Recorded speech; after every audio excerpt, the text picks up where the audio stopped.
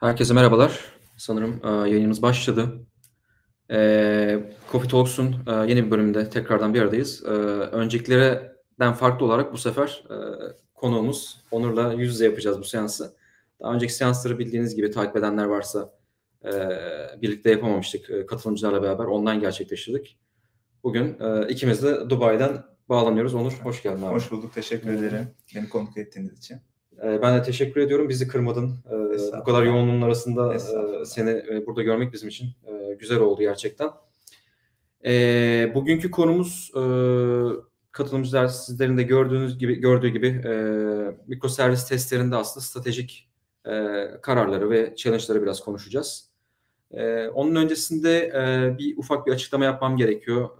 Türkçe bilmeyen bazı arkadaşlarımız, katılımcılarımız oluyor. Ufak bir hatırlatma geçmem gerekiyor. Uh, hello, everyone. Uh, in case if uh, someone in the uh, call uh, today with us uh, who doesn't know Turkish, unfortunately, the session will be happening in Turkish, unfortunately. So in case you have any question, you can drop your message or question on the chat, so we will be answering them quickly. We will be following up the question. Uh, again, uh, thanks for this. Uh, but follow the upcoming sessions. they will be happening in we hope to organize the upcoming sessions in. And we would uh, like English. to hear their questions if there are any yeah. questions related with microservices yeah. or any kind of questions yeah. related with QA uh, area, even software area. We will be happy to answer your questions. Yeah. Please feel free to mention your questions here. So we will do our best to reply all of them. I hope everything will be beneficial. I hope you will enjoy uh, with the session. Ee, sanırım Türkçe dönebiliriz. Okay. Ee, umarım arkadaşlar şey güzel, e, faydalı bir yayın olur sizin için de. Çünkü önemli bir konu mikroservis. Bildiğiniz gibi artık birçok organizasyon legacy sistemlerden artık mikroservislere geçiş yapıyorlar. Ee, yeni altyapılar kuruyorlar ve burada aslında testin de tabii ki önemi karşımıza çıkıyor. Onun öncesinde ben Onur, e, aramızda seni tanıyanlar var. bizim için önemli birisin gerçekten. katkıların için de teşekkür ederim herkes adına. Ederim. Öncelikle bir kendini tanıtabilirsen bilmeyenler için çok güzel olur bizim için. Yani yaklaşık 2003 yılından beri e, çalışma hayatı içerisindeyim. E, ST Microelectronics, Ericsson, Huawei, Teknosa, Kariyer.net de çalıştıktan sonra şu anda Emirates Airlines'dayım. Yaklaşık son 5 yıldır Emirates Airlines bünyesinde ve yoğunluklu olarak da olarak da Microservices Transformation projesinde görev aldım. Hatta programında Hı. diyebiliriz e, projeden de öte bir inisiyatif diye adlandırabileceğimiz bir e, girişim. E, o noktada da e, microservice e, stratejilerinin oluş, test strateji, stratejilerinin oluşturulması, test tiplerinin belirlenmesi, bunların frameworklerinin hazırlanması, diğer takımlara aktarımı, onların bu yapıya adapte edilmesi gibi e, işlerle yoğunluklu olarak uğraştım. Hala e, bu işlerle uğraşıyorum. Yine Microservices Transformation ya da Microservices Platform ekibinde e, Quality Improvement alanında yani kalite geliştirme. Biraz Türkçe biraz İngilizce konuşuyoruz evet. ama e, o şekilde devam ediyor görelim. Güzel. Ee, ama yani sıkıntısı olan, problem olan UI tarafında olsun ya da başka tarafında da olsun o insanlara da yardımcı olmaya gayret ediyoruz. Aslında bayağı e, sorumluluk alanı bayağı geniş evet. e, ve çok başlıklı diyebiliriz aslında. Evet, e, kolay gelsin abi. Teşekkürler. E, peki şöyle genel olarak eminim merak eden arkadaşlarımız vardır. E, günlük rutin nasıl geçiyor Emirates'te? Bir takım aslında, olarak ya da bir onur evet, olarak bir evet, baktığımızda. Şöyle e, Emirates'te yaklaşık son 3 yıldır bir transformation gerçekleşti. Gerçekleşti. Scaled Agile Framework'e adapte olundu. E, belki bilenler vardır oradaki yapıyı. E, birden fazla AAT dediğimiz Agile Autonomous takım var yaklaşık şu anda. 24'ün üzerinde bir AAT mevcut. Her bir AAT içerisinde de birden fazla Agile feature geliştirme takımları oluyor. E, bu yapı içinde takımlar içerisinde ise yani Agile Scrum uygulanıyor gibi düşünebiliriz. Yani tek farkı işte PI, Program Increment Planning gibi planlamaların yapılması. Bunlar 6 e, sprintlik ya da 5-6 sprintlik bir programlama oluyor. Ondan sonra o PI başladığında o PI içerisinde de çeşitli sprintler oluyor. Sprintler biraz Scrum'a benziyor açıkçası. Evet. Yani biraz değil hatta Scrum Hı. yapıyoruz diyebilirim. Ee, Agile Scrum uygulayan kişiler muhakkak vardır e, bizi dinleyen. Oradaki ki aslında söylerim bence e, karnların gelmesi, product owner'ların ve e, arkitektlerin bunları hı hı. daha böyle e, development takımına hazır hale getirmesi, acceptance kriteriyaların, NFR'ların belirlenmesi.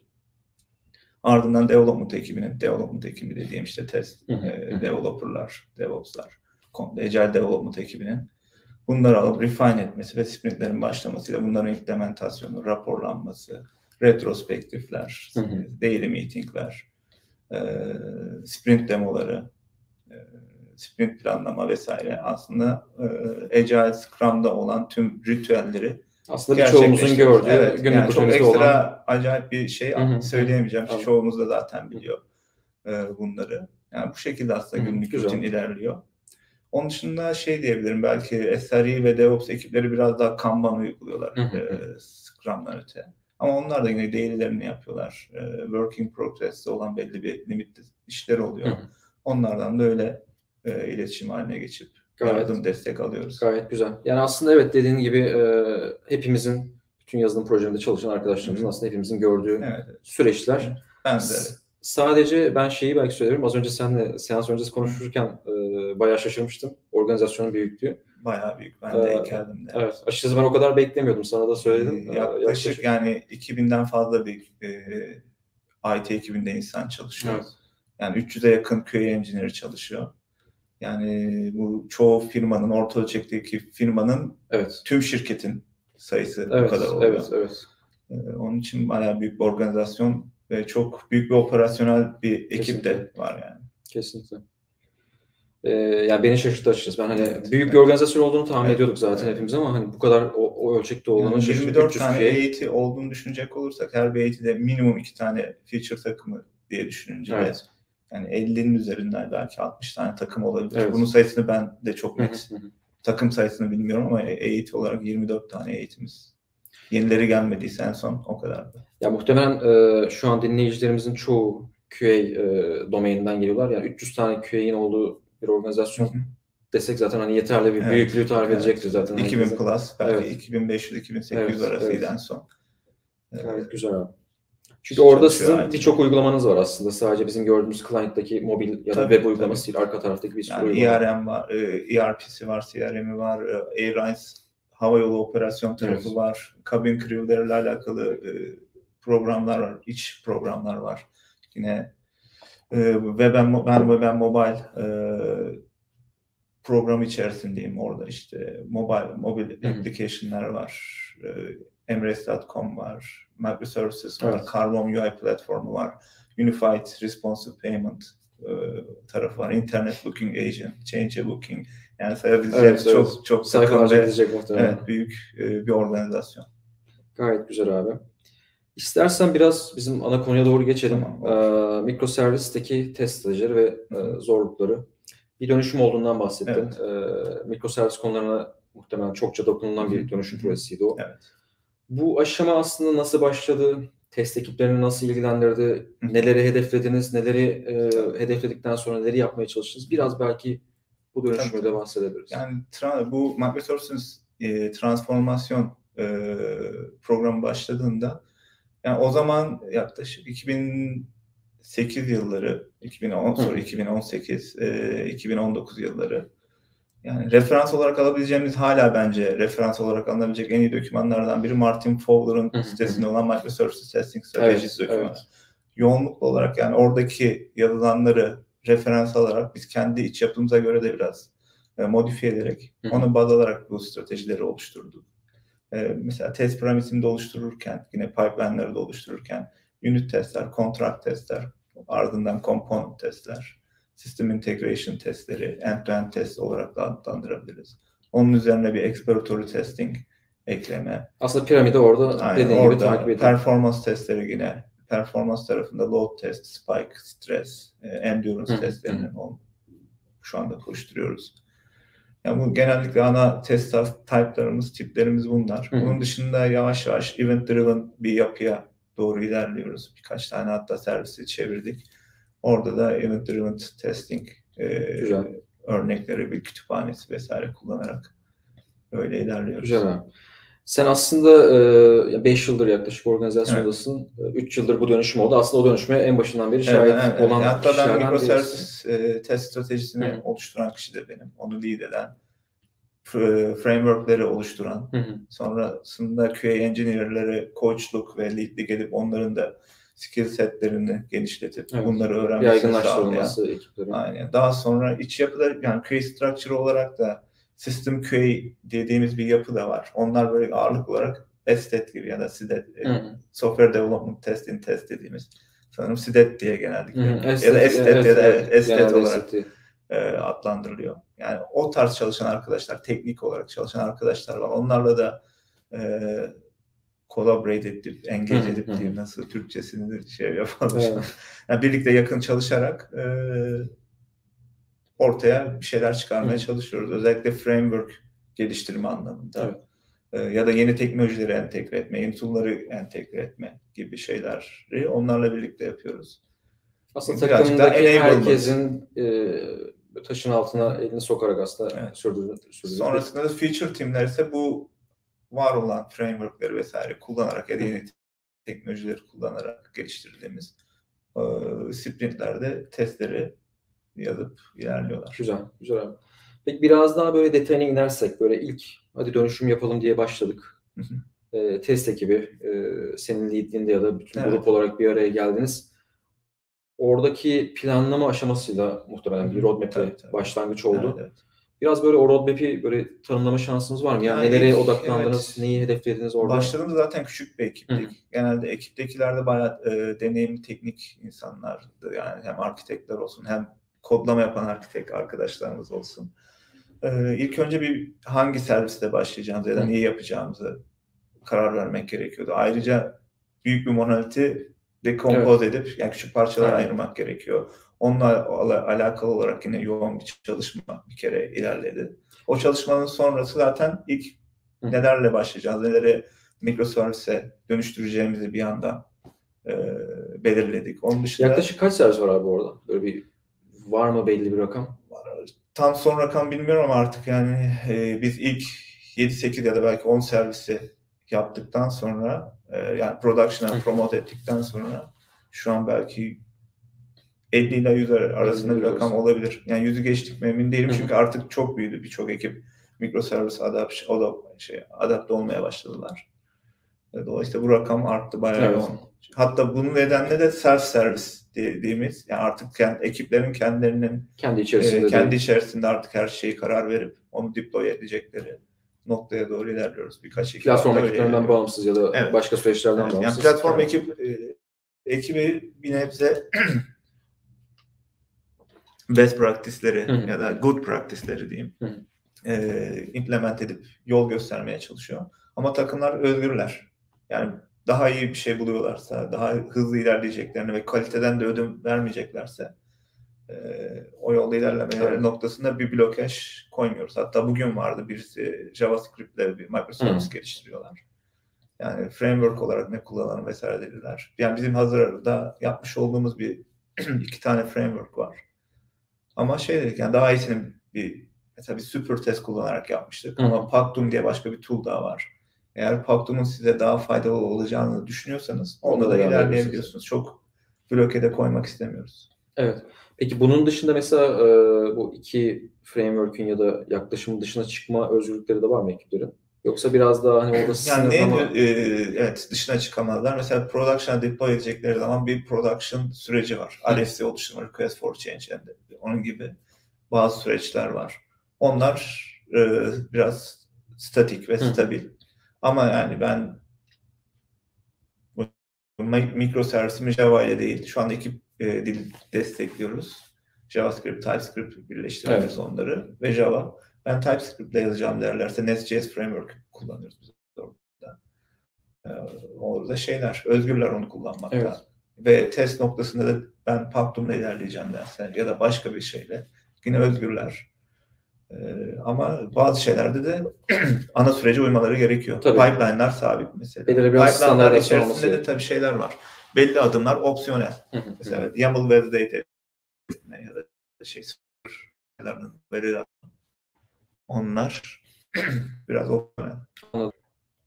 Aklıma şey geldi. Bizim de daha önceden e, çalıştığımız bir müşterimiz vardı banka e, Türkiye'den. E, onlarda da bir test dönüşüm aslında e, çalışması yürütmüştük beraber çok böyle monolitten hani mikroservise dönüş değil de en azından hani otomasyon projesini nasıl ekipler evet. düzeyinde entegre edebiliriz gibi. Ee, orada da aslında hani bu tabii ki böyle e-ticaretteki gibi 5-6 takımın e, yönetilmesinden çok farklı oluyor. Evet, Bankalarda, evet. hava yollarında ya da daha büyük finans kuruluşlarında evet. oradaki ölçek çok uçsuz bucaksız yani. Belki de kimseyi tanımıyorsunuz. Yani bir sürü ekip oluyor öyle. Biz de mesela orada benzer bir aslında şey yapmıştık. Yani çok sınırlandırmadan en azından hani belli başlı e, yöntem ya da frameworkleri kullanarak en azından belli standartla ilerleyelim ki hani herkes de birbirini evet, destek olabilsin. Zaten başta ilerledik. Şu anda da e, özgürlük tanımaya başladık. Zaten self servis dediğimiz yapıya geçmemizin nedeni de o. Önce bir framework oluşturuldu. E, ardından ekiplerin bunlara adapte olması, adapte olduktan sonra ya o bir şey gerekiyor. E, olgunluk gerektiriyor evet. o noktaya gelmek. O olgunluğu oluştuktan sonra oluş, geldikten sonra da artık biraz özgürlük tanıma noktasına ufak ufak özgürlükler diyeyim. Evet, evet. Başlıyoruz. Aslında şey ekip alıştıktan sonra Tabii. biraz daha o yapıya alışıp Aynen. E, çarklar döndükten sonra okey biraz daha büyütebiliriz evet. karar vererek. Ben gelen yorumlara da bakıyorum. Ee, selam veren arkadaşlarımız var. Bir tane sorumuz var. Onu ben ileteyim sana. Ekipler arası koordinasyon nasıl sağlanıyor? Organizasyon çok büyük. Evet. Yani dediğim gibi öncelikle EAT'ler var. Birden fazla EAT. QA tarafında en üst seviyedeki e, rol QA Manager rolü. Hı hı. QA Manager'ın altında Principal. Yani QA Manager bir neyle birden fazla EAT yönetiyorlar. Ee, biraz portfolyo yönetimi gibi. Hı. Ee, QA Manager'ın bir altında Principal QA Engineer'lar var. Onlar ise EAT'leri yönetiyorlar. EAT'ler ise e, birden fazla takım, takım barındırabiliyor. Evet. İki takım, üç takım. Yani sanırım o civarlarda genelde benim gördüğüm eğitilerin yapısı. Ve takımların içerisinde de lead QA engineer'lar ve QA engineer işte senior QA engineer, QA engineer öyle bir Aslında büyük organizasyonlardaki o bildiğimiz hiyerarşik Her bir eğiti içerisinde de şöyle bir yapı var. Bir performance test engineer'i ve bir de system QA ya da tech QA diye adlandırılan Hı. Böyle estet dediğimiz bir rol var. Hı hı.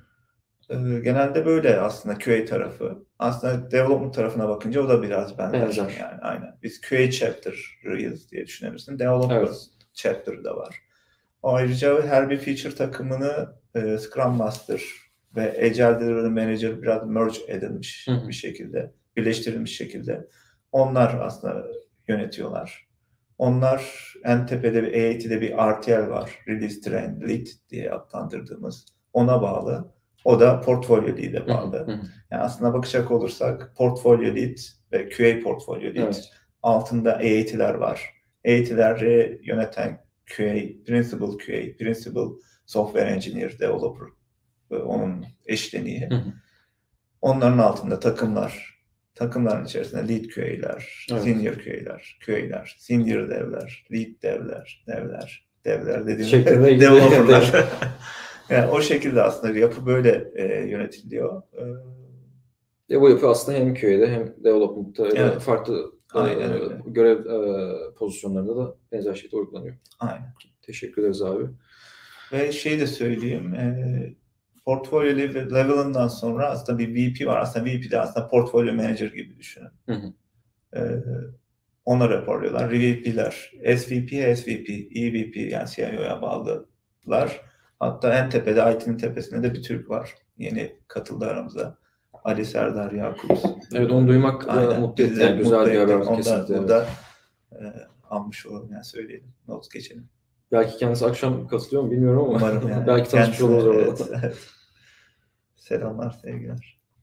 Ee, bir sonraki soruya geçeyim abi ben istersen. Biraz daha böyle hani scope e, konularına girmek istiyorum. E, şimdi bir planlama yapıldı. E, senin dediğin gibi belki hani bu dönüşüm projesinde bir 7 tane örnek e, örneklem seçerek aslında orada bu dönüşümü gerçekleştirdi. Sonra ve ekipler kendileri yaygınlaştırmaya evet. devam ettiler. Evet. Siz de orada biraz böyle aslında Center of Excellence gibi bu standartları evet, biraz evet, belirleyip onların takip edilmesi Aynen, yani... ya da yeni bir şeylerin implement edilmesi gibi bir evet, pozisyonda evet. yer aldınız. E, bu noktada biraz daha böyle hani o diğer arkadaşların teknik tarafta gerçekten e, yani o kendi başlarına ekiplerini yöneten arkadaşlar tarafından konuşacak olursak orada onların kendi skoplarını aldığı ne tarz testler var? Mikroservis üzerinde konuşabiliriz evet, mesela. Yani ağırlık olarak aslında biz bir yapıyı belirledikten sonra onlar herhangi bir requirement geldiği zaman onları otomate edip ya da testlerini e, ne başladıklarında e, yani development tarafında tabii unit testler koşuyor evet. mutlaka. Onlar implement ediliyor tabii. ve kod coverage'la e, bunların coverage'ı ölçülüyor. Bunun yanı, yanında yani mutation testing'i de e, yavaş yavaş e, dahil edip bu sürece unit testlerin kalitesini de test edecek e, bir noktaya geleceğiz. Şu anda bunun denemelerini daha önce de yapmıştık ama pipeline'lara da entegre etmeyi planlıyoruz.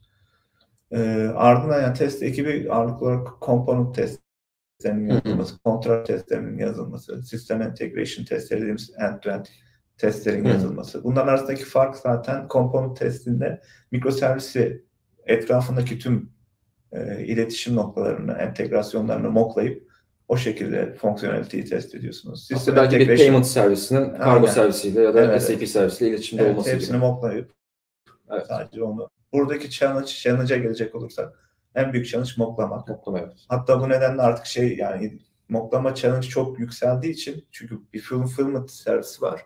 11 farklı ya da ben e, reservation booking servisinin testinde ne yapmıştım ilk baş zamanlarda. Bir nevi PNR hı hı. testi. Yani çok kritik bir servis. Yani 11'den fazla entegrasyon Tabii. noktası var. Bunların her birine, her bir case için mock yazmak büyük bir büyük bir development challenge. Ben mock yazan kod yazdım yani son.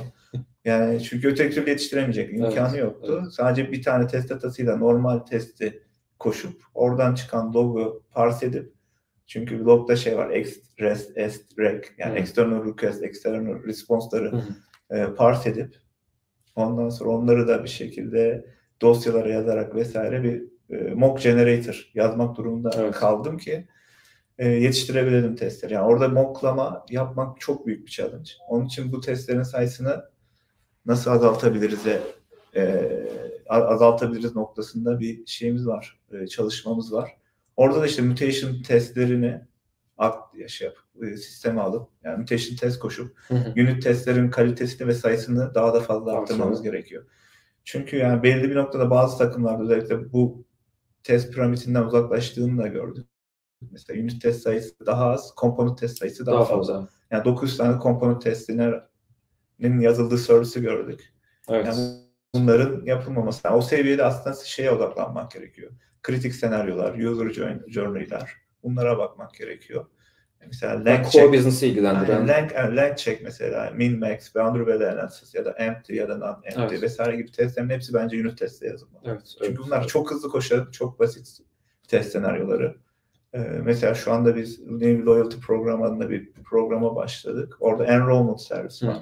Yani farklı user tiplerinin enrollment'ını biz komponent ya da SIT testlerinde yaparken yani o dediğim gibi yani membership number'ın e, sayısı 9'dan fazlaysa ne olacak? 9'dan aşağıysa ne Evet. olacak? Yani boş gelirse ne olur ya da başka special karakter gelirse ne olur? Bunların testlerinin hepsini unit level'a atmak gerekiyor. evet. Evet. Ve bunların takım olarak da benimsenmesi lazım. Peki bunu şu, şu an e, bir düzenine oturtma şansı oldu mu e, Belli yani ilk başta biz böyle ilerliyorduk ama e, bazı ekipleri sürekli kontrol etme şansınız olmadığı için Evet. buradan uzaklaşmış olan ekipler de var.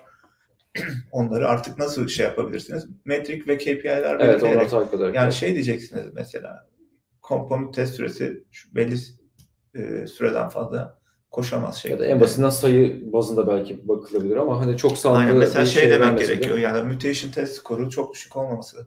Evet. Çünkü coverage çok bir şey anlam ifade etmiyor belli bir noktadan sonra. %100 coverage yapın.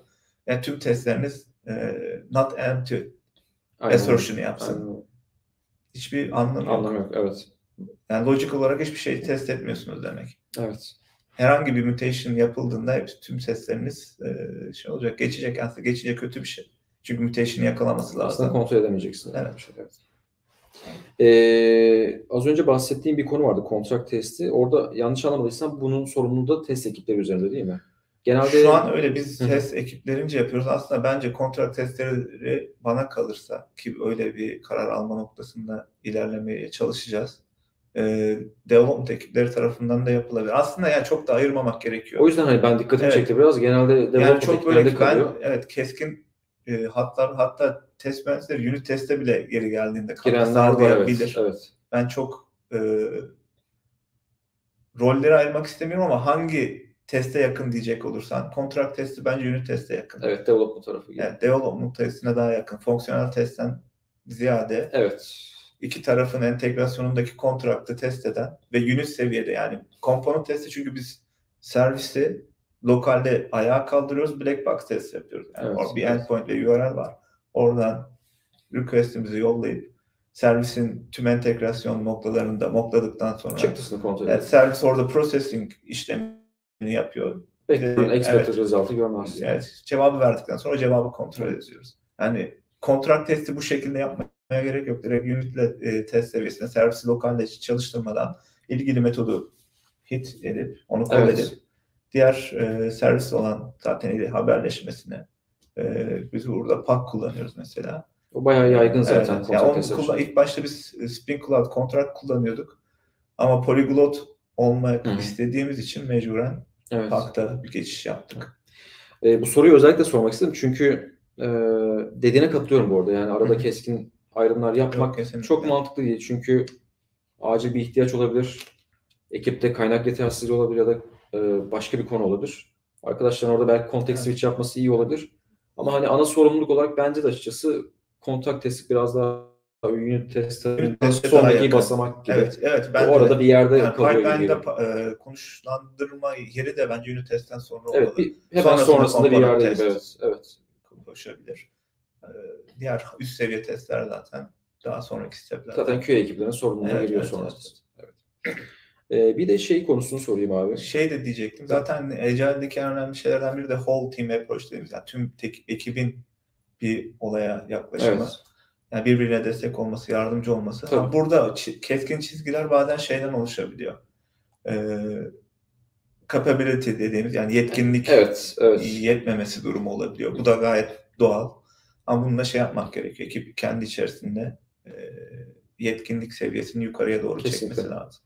Bununla ilgili belki şey örneğini verebilirim. Biz genelde danışmanlık verdiğimiz organizasyonlarda test dönüşümü yaptığımız projelerde işte sadece atıyorum işte API projesi ya da web projesine dönüşümü değil, komple böyle işte web, mobil uygulamalar, backend Evet. servisler komple uç sonucu alıyoruz. Hı hı. Ve orada da genelde hani e, yaklaşım gerek müşterinin ya da gerek bizim önerdiğimiz değil. Genel, e, yani organizasyona uygunsa tabii ki. Hı hı.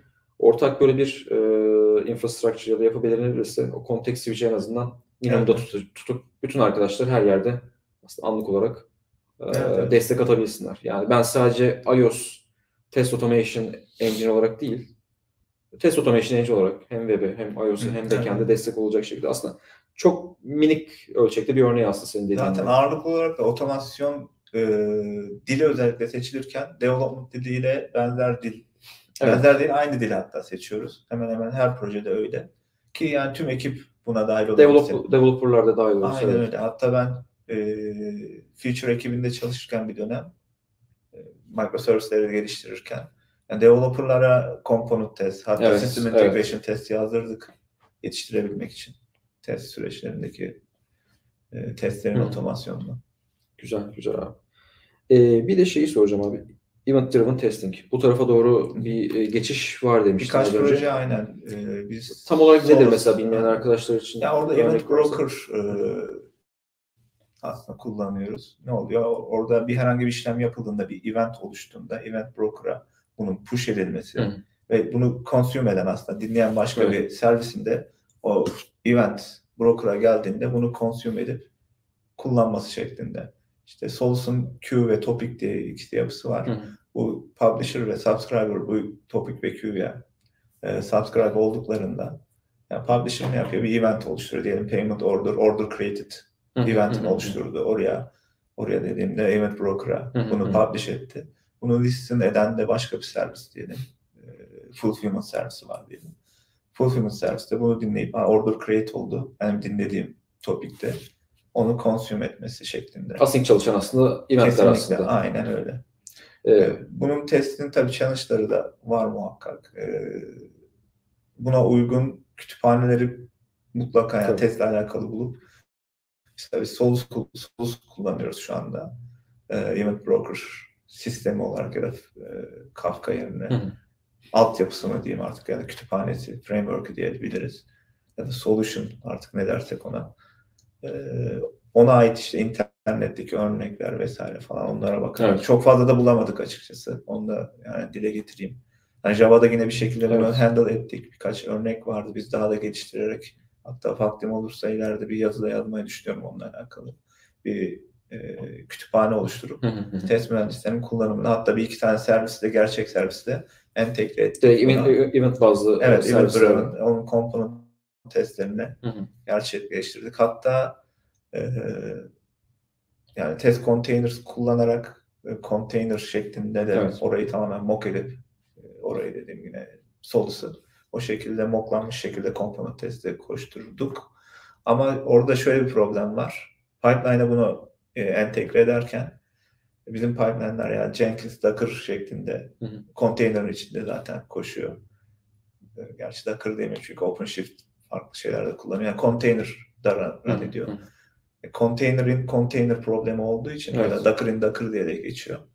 Dolayısıyla biz orada Kubernetes resource'u falan tanımlayıp o şekilde bunu aktif edip ayağa kaldırıp o mock yapacağımız e, broker'ı e, o şekilde e, ters şey testler başladığında environment Hı hı, oluşturup evet. o şekilde testlere koşuyoruz. Aslında e, bu konuyla evet karışık. bu konuyla beraber aslında sen şey challenge kısmına da biraz girmiş oldun. Aslında bir sonraki konumuzda e, biraz challenge'tı.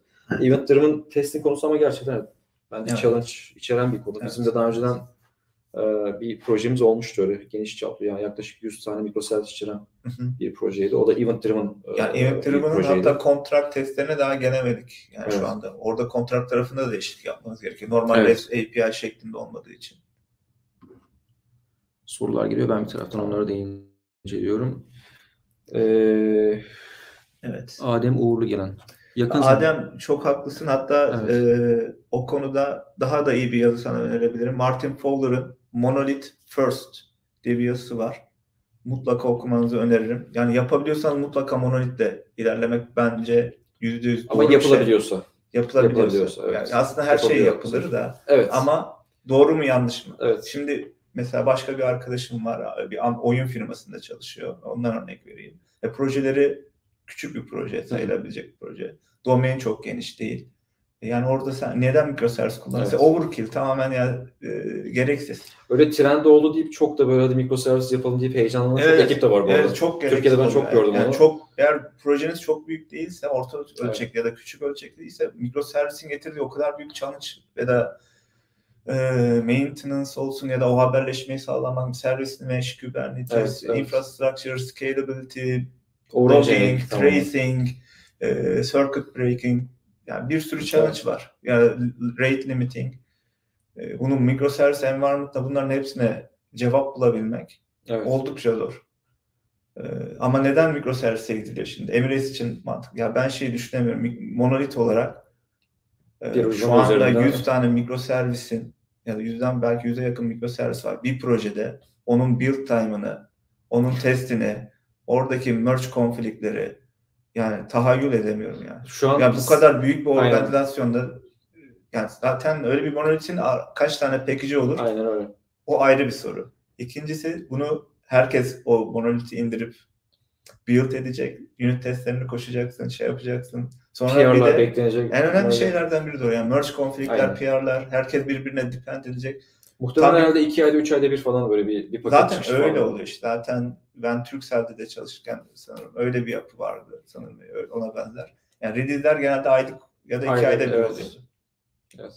Çünkü independent bir şekilde gitmenin imkanı yok. Halbuki şu anda time yani faster time to market e, time to market hızlı yani hızlı deploy edebilmek için de evet. şeyleri geliştirmeleri microservice environment'ı ya da architecture'ı çok faydalı.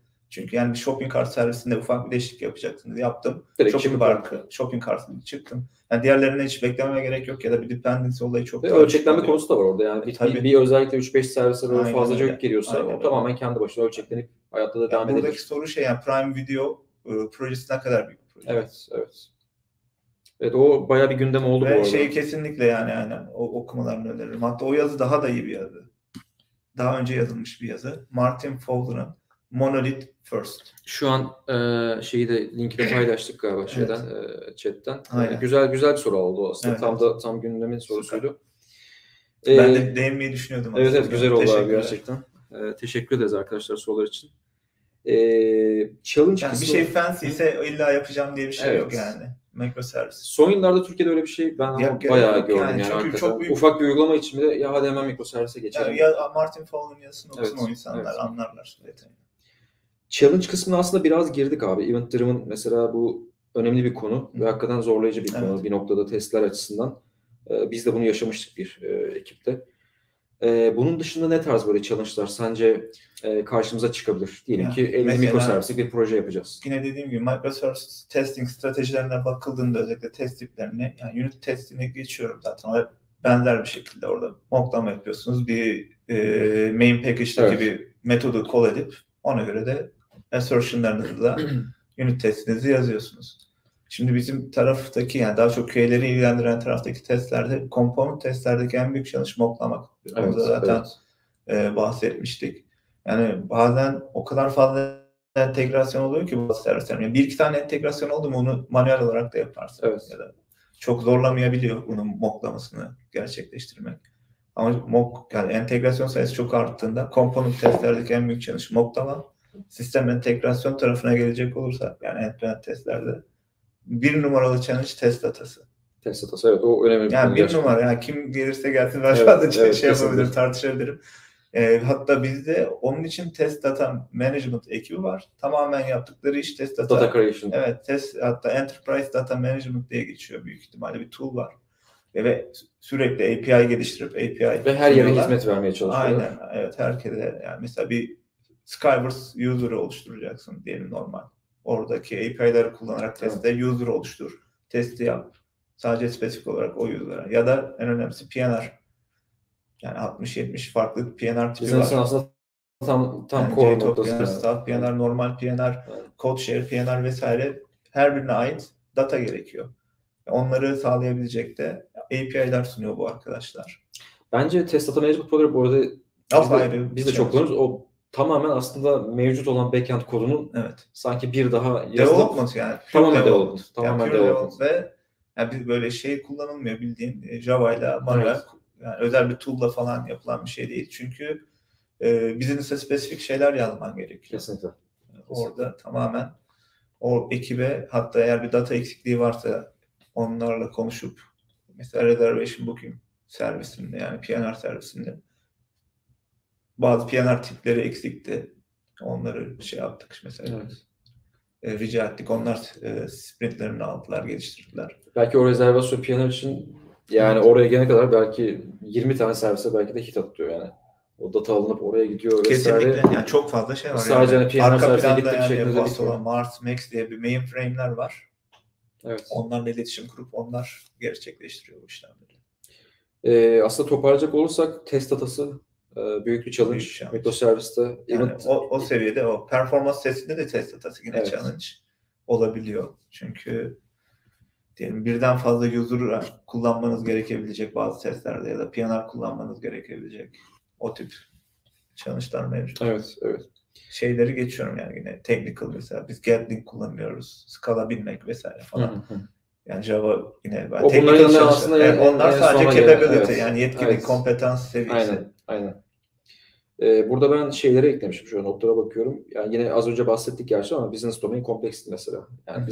business domain çok kompleks değilse monolitle Bence belki çözülebilecek bir şeydir ve devam edilebilir. Aynen. Ee, ama Çünkü daha az baş ağrır ki Evet. Prime Video'nun da bunu zaten Evet, şey yapmışlar, göstermişler. Toparlayacak olursak aslında hem eventlarda biraz aslında test yani QA perspektifinden Evet. biraz challenge var.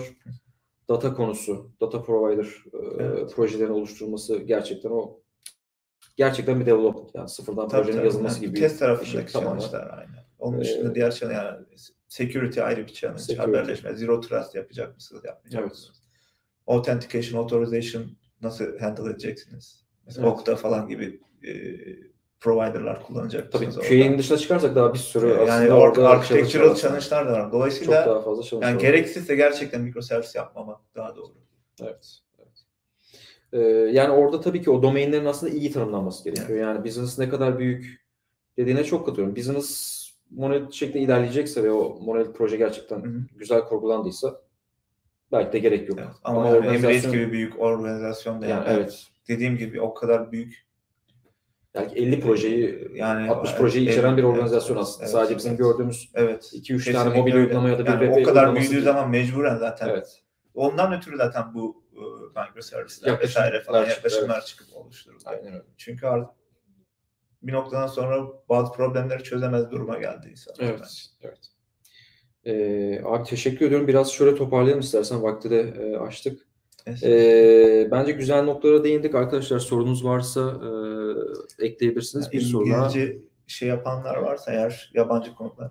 Ee, tekrardan hatırlatma yapalım. If there is anyone who is listening us, uh, we are also answer your questions. Just type. Yeah, you can Your you can leave your yeah. questions on the uh, on the comment site. Yeah.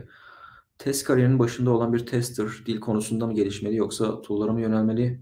Tavsiye ettiğiniz bir patika var mı? Geniş bakış açısına sahip olan birinin görüşlerine Hı hı. ihtiyacımız var. İlk olarak zaten testin temelleri vesaire test nedir ne değildir, e, test seviyeleri nelerdir. Yani genel bir bizim Terminolojiye hakim olmak terminolojiye gerekiyor. hakim olmak gerekiyor. Yani ISQ'de öğretilen şeyler. E, bunu yaptıktan sonra yavaş yavaş teknik, teknik olarak da kendimizi geliştirmemiz gerekiyor. Bundan kaçamayız zaten. Yani o noktada zaten bence herhangi bir dil seçilebilir. Ağırlıklı olarak Türkiye'de herhalde en çok kullanılan dil Java. Java'yı tercih edebilir ya da Python tercih. Python öğrenmesi belki daha kolay bir dil. Ee, ya da JavaScript. Yani bence bu üçünden biri tercih edilebilir. Biz genel mesela Ruby ya da Python evet, ağırlıklı olabilir. Evet, ilerliyoruz. evet. Çünkü, ekipler hemen enable olabiliyor yani o Kesinlikle, tarafta. Evet, evet, olabilir. hemen direkt gün bir yazmaya başlıyor. Evet, yani. evet. Yani dediğim gibi o noktada Python daha kolay öğrenilebiliyor. Yani markete daha çok hakim oluyor Java'da çok Java'nın Evet. marketi çok fazla evet. Ben şey öneririm. Java'yı bir cebe koyayım. ikinci dil artık şey. Evet. Yani UI tarafında yoğunluk olarak artık frameworkler JavaScript'le mesela işte Evet, JavaScript framework'ler bayağı- Playwright evet. vesaire gibi bayağı onlar da ortaya çıktılar. Yoğun olarak kullanılmaya da başladıklarını görüyorum. Ee, Ama sıfırdan başlayınca bir dil tercih edebilir. Bunlar Python olabilir, Ruby olabilir, Evet. Java olabilir, JavaScript olabilir. Yani Türkiye'de yine .NET de kullanılıyor ama tercih Görece biraz az evet, sanırım. Yani, yani ben ne yapardım desem ben herhalde yine Java'yı tercih ederdim. İkinci dil olarak da ya Python seçerdim ya JavaScript seçerdim. Aslında Java ve JavaScript'i bilince backend tarafında çoğunluklu olarak özellikle enterprise'larda Java kullanılıyor. Ee, UI tarafı zaten JavaScript. Yani bu iki, Orada destek de Evet, alınabilir aslında. evet, o az önce evet. konuştuğumuz konuya bir de şey de çok yani kaynak çok vesaire ikisinde. Bunlarla ilerleyebilirler. Ne yapabilirler? İlk başta UI tarafındaki otomasyona bakabilirler. Sonra bir Postman kullanımı. API testini Evet. manuel yapma vesaire anlamında. Sonrasında bir API automation'ı. Orada her bir dile ait kütüphane var. Evet. Yani JavaScript'te SuperTest var, Pactum var. Daha da fazlası vardır muhakkak. Ee, Tabii, performans tarafları var daha başka. performans Ayrı bir uzmanlık alanı evet. zaten tamam. e, yani e, Java tarafında REST Assured var, Karate gibi tool'lar var, Robot Framework var. Daha Evet. kolay öğreneyim yapayım e, derlerse. Yani aslında e, tool ya da dil mi öğreneyim demektense Hı aslında o yaklaşımları biraz Yani yaklaşım lazım. öğrenmek Yani. ama yine de bir değil Tabii, ve tabii. bir framework seçip bazı şeyleri yapabilmek. uzmanlık kazanmak Evet, gerekiyor. Çünkü orada programlama e, e, yetkinliğini geliştiriyorsun. Evet. Sonrasında başka bir dile ya da tool'a adapte olmak oldukça kolay. Kesinlikle. Yani ben hiç TypeScript vesaire bilmiyorum. Nest.js de bilmiyordum. Yani Nest.js ve TypeScript kullanarak e, mikroservis geliştirdik. Onların otomasyon frameworklerini oturup öğrenip böyle birkaç ay içinde tamamladım yani. En azından bir uzmanlık gerekiyor Evet, kesinlikle. evet. Yani bir dil, framework Onu- dediğin gibi. e, bir de ben belki şey ekleyebilirim. Hani e, kimi arkadaşlarda şey paniği oluyor. Ya ben hemen otomasyon mühendisi olacağım. Hı E, hemen Evet. feature yazacağım, kod geliştireceğim vesaire. Evet bu olabilir. Hı hı. Ama bence herkesin o biraz böyle hani manuel süreçler nasıl ilerliyor, e, o yazılım döngüleri nasıl ilerliyor. Evet. Ben biraz hani oralarda da arkadaşların açıkçası vakit geçirmeleri gerektiğini tabii. düşünüyorum. Yani yeni sektöre başlayan arkadaşlar özellikle. Zaten otomasyon yaparken de bir manuel süreç Evet, oluyor. evet. Yani Postman, API testine bile önce bir bakıp Kesinlikle. bazı şeyler geçiyor mu geçmiyor mu kontrol edelim. Sonra otomasyonda. Bir sorumuz daha var. Oyun sektöründe automation Test ne, kadar, verimli, ve gerekli. Ya o konuda gerçekten deneyimsizim. Ee, atıp tutmak istemiyorum oyun sektöründe çalışmadım hiç. Ee, bir iki şey okuyup etmiştim. Hatta Tester Stories diye bir blog var. Jeff Neiman. Sanırım şu anda Hmm, kendisi evet. bir oyun firmasında e, Head of Testing olsa gerek. Onun bloğunu öneririm yani oraya onun yazdıklarına şey yapabiliriz. Ya yazıları çok uzun. Çoğu da felsefik diyebileceğim seviyede yazılar. Ama yani vaktiniz olursa okuyun derim. Birkaç tane benim de bulduğum böyle site Yani var. belki Benim de sen o- daha iyi benim de evet, açıkçası şey, oldu. benim de açıkçası hiç e, değindiğim bir konu olmadı. Hani ben de hani burada şey yanlış bilgi vermeyeyim. Birkaç tane böyle yazı e, okumuştum. Orada da böyle aslında e, yanlış hatırlamıyorsam böyle event tarzında e, bazı komutlar var. Hı hı. İşte buradan kılıcı salla bilmem ne. Evet, evet. Tamamen bu eventler üzerine dönen bir e, yöntem vardı. Ama gibi çok uzmanlı Ya ben olan şey falan şey da gördüm yani ne kadar iyi bir şey onu da bilmiyorum yani. SQLX vesaire gibi Ha, evet, şeyler evet. kullanan UI tarafında da bazı otomasyonlar prosesi, yapmaya imaj prosesi. çalışmışlar. Yani oyuna özel, oyunlara özel mesela mobil oyunlar olabilir ya da bin bir türlü oyun var zaten konsol oyunları Evet, o- evet. Onlara ait özel frameworkler var mı vesaire. O konuda çok e, deneyimim yok. Ee, Belki biraz araştırma yapıp Evet. e, bu konuda Hani bilgi olur backend tarafını test etmek Evet. mantıklı olabilir. Çünkü backend'de daha yani UI'yi test etmek belki manual'dır Evet, tahminim. evet. Otomasyonu ne derece yapılabilir? Yani şeyde yaparsın ya SQL'de falan değer mi soru işareti. Ama backend'de Çok stabil olmayacak Evet, muhtemelen evet, proje. tabii. Çok stabil olmayacak. yani backend tarafında e, bunu test etmek Bir- gayet. Çünkü evet, siteler var olabilir. mesela Aynen. herhangi bir şekilde. Evet. Özellikle mobil oyunlarda vesaire. Onlar test edilebilir. Evet. Yani bunu unit testte de cover edebilirler ya da diğer seviyedeki testlerle de. Evet. Architecture'a bağlı arka plandaki. Sorular gelmeye devam ediyor. Zamanı biraz açtık. İsterseniz hızlıca toparlayalım. Alt unit testler kullanılabilir. Ne kadar verimliliğe gerekli orası. Tamam. Adem e, ek bir bilgilendirme yapmış. Unity Engine tabanlı oyunlar için alt, Alt Unity, Unity tester kullanılabilir. Ne kadar verimli veya gerekli Evet, orası bunu, tartışılır. bunu Teşekkürler kullananlar, evet Adem teşekkür ederim. Bunu kullananlar var evet şey e, oyun tarafı için. Benim hatırladığım e, tamamen oyun testleri için bir, e, bir blog sayfası vardı. Onu eğer bulabilirsem Yani arkadaşlar şeye şey, de yayının altına Stories'e de paylaşırım. bakabilirler. Sanırım hala orada çalışıyor olabilir. Jeff Neiman. Ee, Onun, Onun linklerini biz paylaşalım Evet, şeyden. Oyun ya hatta bir yazısı var. İnanılmaz uzundu. Yarıda bırakmıştım. Devam edeyim sonra diye. Ee, Oyun testiyle alakalı bayağı yoğun e, Güzel. detay bilgiler içeriyor. Abi sen toparlayalım. Bir soru. Teşekkürler. Tamam. İstersen toparlayalım. Ee, yani konumuz bugün mikroservis testlerinde Evet. challenge'lar, strateji kararlarıydı. hı. Ee, senden mini tavsiyeler alabileceksek eğer e, son vereceğin notlar varsa. Evet. Yani dediğimiz gibi eğer mikroservis e, değmeyecekse mikroservis yapısına Hı hı. geçirmezse Amazon Prime örneğinde olduğu gibi ama Emirates gibi büyük organizasyonlarda ise bundan kaçışın bence olması çok Evet. mümkün değil. Yani çok devasa bir organizasyon, bir functional domain söz konusu. Testler verecek olursak birden fazla challenge var. Evet. Bunlar dediğim gibi yani olabildiğince birçok şeyi seviyede low senaryoyu UNICEF Kabul etmek gerekiyor. lazım. Ya bunu da benimsenmesi lazım developerlar tarafından, tüm ekip tarafından. Yani QA tarafına şey e, fazla gatekeeper gibi kullanıp Evet. onları kapı bekçisi gibi Zaten kullanıp onlar onlara hallederler dememeleri lazım. Ve oradaki practice önemli. Bir code coverage, iki mutation. Mutlaka yani bu ikisini entegre edince zaten ikisi birbirine şey yapacak tamam mı? Evet. Code coverage yani mutation test score yüksekse okey good yani her Evet, şey evet. okey diyebiliriz.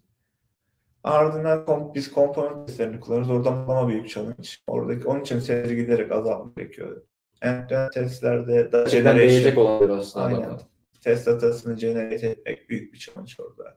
Çünkü hani o seviyelerde API'de ne bekliyorsunuz? Bir endpoint, header'lar, query parametreler, data, data, payload aynen. ee, ardından ne gerekiyor? Version, version varsa version'lar.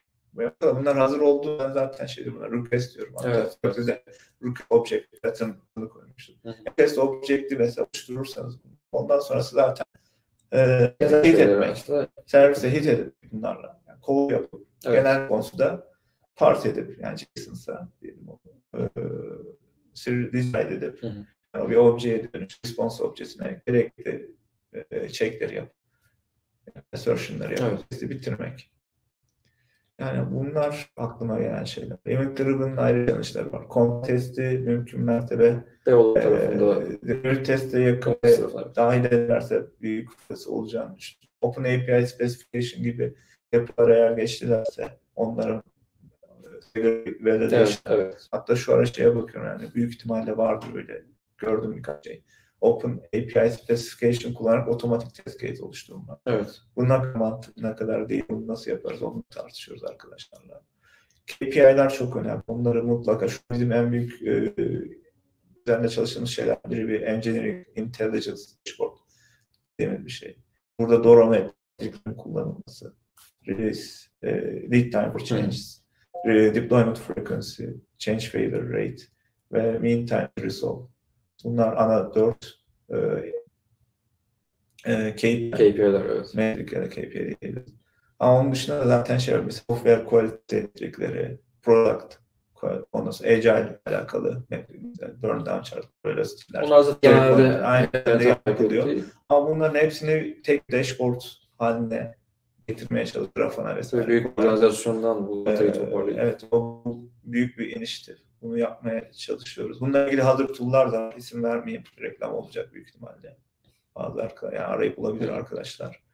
Ee, KPI'leri belirleyip e, monitör edip öyle ilerlemek gerekiyor. Mesela sadece test statistiklerine bak adamın tartışmasını yapmıştık. Genelde üst seviye şey isteniyor. Otomasyon testleri ve, ve kaç tane testin coverage'ının yani otomasyon edildiği. O büyük bir soru işareti aslında. Ya bu Bizim şeyde dünyada iki tane servis düşünün. Birinde bin tane otomasyon yaptı testi var. Hepsi otomated. Diğerinde de yüz diye düşünün. Bunu daha sonra bunun şey ekledik. Yani mutation test coverage'ına yine parametriklerini ekleriz. Yani buradan bakınca diyelim her şey yüksek. evet. Şey, test count olanın diğer metrikleri, kalite ve deployment e, metrikleri çok kötü. Evet. Diğerinin ise çok yüksek. 100 taneydi Yani, aslında. yani evet. Onun için sadece istatistiklere bakmak çok mantıklı Evet, değil. Biri evet. productivity, diğeri ise quality. Yani speed and quality'yi merge etmek gerekiyor değerlendirme yaparken. Bunu daha çok ben yani üst seviyedeki yöneticilere, C-level'lara Rakam, rakam bazlı orada Eğer dinleyen varsa aramızda da Evet. e, orta düzey ve üst seviyesindeki yöneticilere.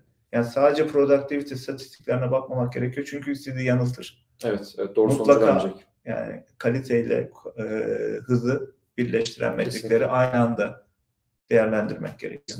Ki doğru e, değerlendirme yapabilmek için. Ee, abi güzel tavsiyeler oldu. Ee, bir de kapatmadan yani şeyi de söyledin o belki bambaşka bir konu. Ee, umarım bir daha e, yaparız orada konuşuruz. Dora metriklerini kullanıyoruz dedin. Evet. Mesela o da aslında yeni yeni hayata giren, Evet. hayatımıza girmesi gereken aslında. Zaten o e, mikroservis geçmenin en büyük Evet. artlarından biri de dometrikleri nedir işte deployment frequency. Arttırma yani Evet, de evet, sürekli evet. yapabilmek için bu monolitte bunu yapmak Kesinlikle. daha zor. Özellikle yani küçük monolitle belki yaparsın da büyük eski bir yerde anlamlı olmaz yani Evet. onun ölçümlemesi. Onu yapmak çok zor. Kolay Evet. değil çünkü birden fazla takım aynı projede çalışıyor. Merge konflikleri bile Aynen. ayrı bir e, dert. E, yani orada bir hata çıktığında bunu çözmek. Diyelim çözdün. Başka yeri bozdun. Aynen. Yani gerçekten büyük problemler. Doğru metrikleri var. Çok değerli. Belki ilerleyen e, haftalarda ya da aylarda bir sırf bu konu Olur. için de bir konuşabiliriz aslında. Güzel. Bir, tamamen konuşursak Tabii tabii daha çok, da çok, keyifli olur. çok, aslında Deneyimleri de güzel, güzel bir güzel bir konu abi. İyi oldu Çünkü söyleyeyim. biz sıfırdan kendimiz geliştirmeye şu anda çalışıyoruz. Hazır bir tool almak yerine. E, oradaki architecture'dan vesaire falan challenge'lardan da bahsedebiliriz. Güzel. Ee, abi bugün süreyi biz bayağı açtık. Ee, verdiğin her bilgi çok önemliydi. Umarım hani e, katılan arkadaşlar da e, Umarım evet, onlar da beğenmişler. faydalanmışlardır. Biraz iş çıkışı yorgundum. Sesim de be, arada bir çatallandı gitti. Seni yorduk bakmasınlar. kadar ofisten. Evet. Çok teşekkür ederim katıldığın için. Ee, arkadaşlar bugünkü yayınımız bu kadardı. Ee, bugün konuğumuz Onur.